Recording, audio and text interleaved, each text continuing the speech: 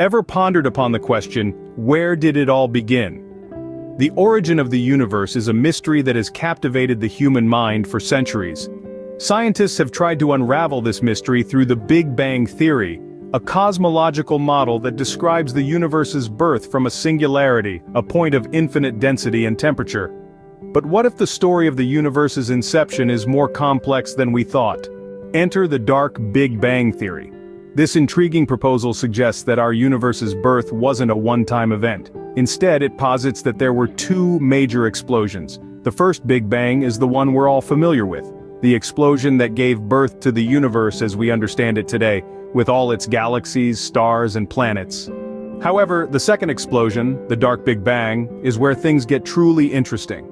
This second blast is believed to have spawned the elusive dark matter, Dark matter, invisible yet incredibly influential, makes up about 25% of the universe. It doesn't interact with light or any other type of electromagnetic radiation, making it virtually undetectable. Yet we know it's there because of the gravitational effects it exerts on visible matter.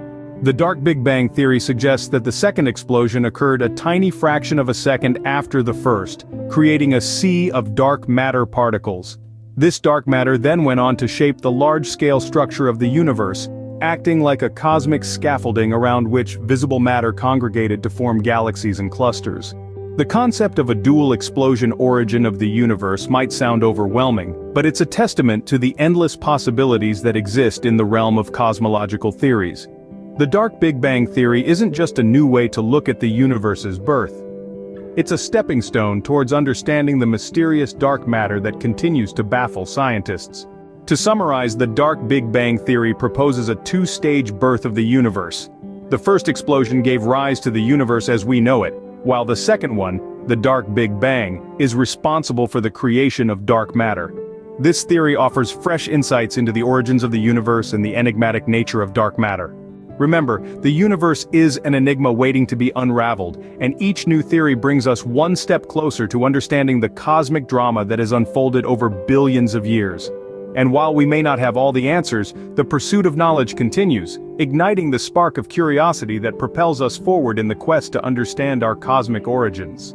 So the next time you gaze at the night sky, remember, there's more to the universe than meets the eye.